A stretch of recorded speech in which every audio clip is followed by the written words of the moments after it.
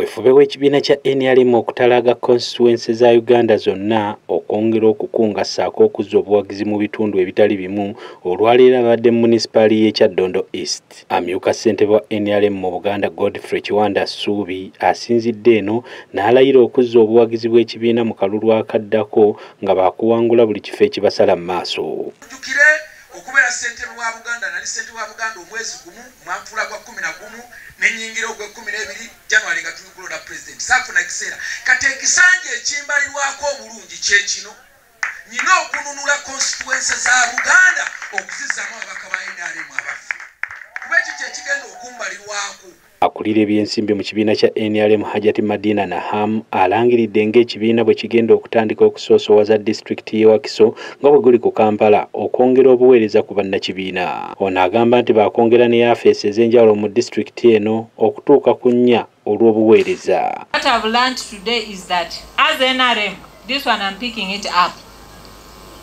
With regards to finances, from now on, we are going to treat Wakiso in a unique way. We are going to treat Wakiso like Kampala or even better. Because in the last election, we were giving uh, councillors in Wakiso 100,000, the parish councillors. And in Kampala, we were giving them 3 million. And yet Wakiso had the, the, the, the heat the political magma of, of NUP, FDC, where... Hajati agamba nti si baakukoma mu kibiina mwokka wabula baakuwabula ne gavumenti z'ebitundu okuyita mu buufu bwe bumu olw'obuweereza. I also learned something here that even in government the planning has to change. That is why we are here.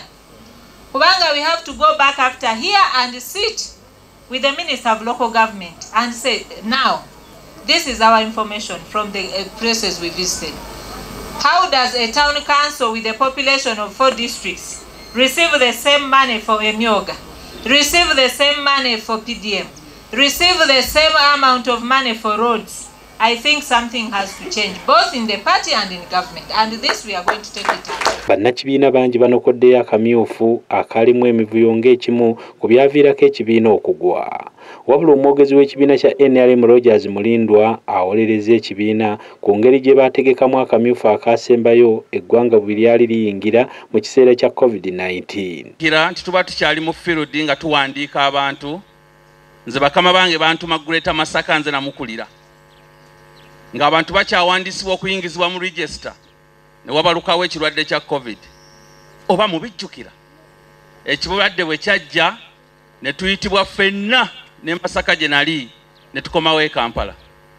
Naye nga mujjukire twali tulina okugenda mu kukola ki? Mu kulonda. Exercise neeteggwa tewaliyo mwaka gwonna we twali tulonze president n'awa directive eyo okujjako ku mulundi guno olw'embeera ya covid eyaliwo. Mulindo asabye bannakibiina okweggyamu enjawukana ekibiina kyabwe okugenda mu maaso. Amyuka radisi w'ekasanga ti franka kyaze asabye ekibiina okutuukirira amaka ag'abamu ku bannakibiina abagundiivu abaleese enjawukana mu kibiina ono yeeyamye okwongera enteekateeka ez'okukunga zino mu maaso ng'ayambako enkiiko z'ebibiina okutuula okutuukira ddala ku muntu asembayo some political thinkers abalowooleza ekibiina kya nrm nga bo baliwo okulowooleza kibiina. Nga bo tuyinza okuga nti ono mudisorganizinga ntya? Ono mukola ntya? Ono mukola ntya? Ono mukola ntya? Ebintu ng'ebyo. Bannakibiina ab'enjawulo nabo boogedde ebibasoomooza tulwana n'abasajja. Tuyitawo ne yero buli woyita ne bakugamba ako kayero ng'abalwedi bakufumita amaggwa nsaba maama nga nfukamidde taata nsaba.